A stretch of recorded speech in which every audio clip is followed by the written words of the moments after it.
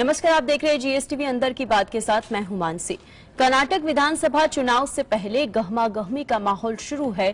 कांग्रेस ने सिद्धारमैया का नाम कोलार सीट से हटा दिया था। उनकी जगह कोथूर जी मंजूनाथ को मैदान में उतारा है। सिद्धारमैया वरुणा के अलावा कोलार से चुनाव लड़ने की इच्छा काफ़ी बार जता चुके हैं।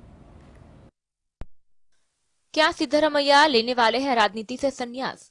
पूर्व सीएम और कांग्रेस के बड़े नेता सिद्धारमैया ने बड़ा ऐलान किया है।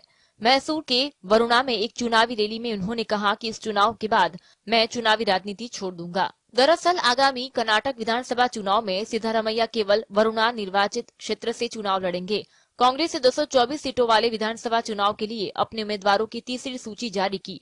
इसमें कांग्रेस ने सिद्धारमैया का नाम कोलार सीट से हटा दिया था। उनकी जगह कोथूर जी मंजूनाथ को मैदान में उतारा है। हालाँकि सिद्धरमैया ने वरुणा के अलावा कोलार सीट से चुनाव लड़ने की इच्छा काफ़ी बार जता चुके थे। कांग्रेस नेता सिद्धरमैया को वरुणा निर्वाचन क्षेत्र के लिए अपना नामांकन दाखिल करने की उम्मीद है।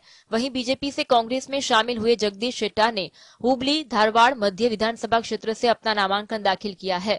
10 मई को कर्नाटक विधानसभा चुनाव एक चरण में होने हैं। और नतीजे 13 मई को घोषित किए जाएँगे। इससे पहले पिछले महीने में सिद्धारमैया उस वक्त मुसीबत में फंसे थे, जब उन्होंने एक ऐसे व्यक्ति को थप्पड़ मार दिया था जो कथित तौर पर कांग्रेस विधायक के लिए चुनाव टिकट की मांग करने वाले समर्थकों में शामिल था। Bureau report, GSTV.